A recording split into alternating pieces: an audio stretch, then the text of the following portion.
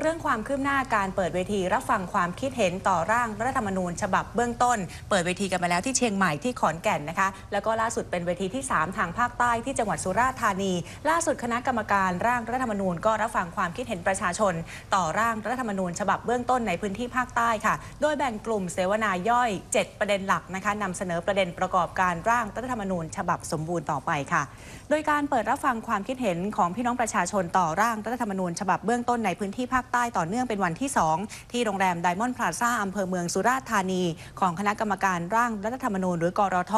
ร่วมกับสถาบันพระปกเกล้า มีนายสุพจน์ไข่มุกรองประธานกรทคนที่ 1 เป็นประธาน พร้อมกับเครือข่ายอดีต สมาชิกสภาปฏิรูปแห่งชาติประจำจังหวัดกลุ่มภาคใต้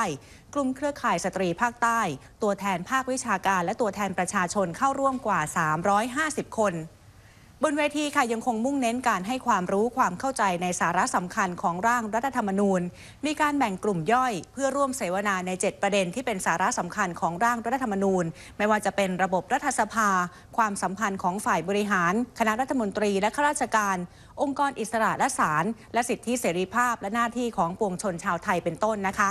โดยกรทค่ะจะนำข้อเสนอจากการเสวนามาสรุป แล้วก็ประมวลผลนำไปประกอบการร่างรัฐธรรมนูญ ฉบับสมบูรณ์ให้แล้วเสร็จในวันที่ 29 มีนาคมที่จะถึงนี้ หลังจากนั้นก็จะเผยแพร่ให้กับพี่น้องประชาชนรับทราบเนื้อหาสาระ ก่อนที่จะมีการออกเสียงประชามติกันในช่วงปลายเดือนกรกฎาคมนี้ค่ะ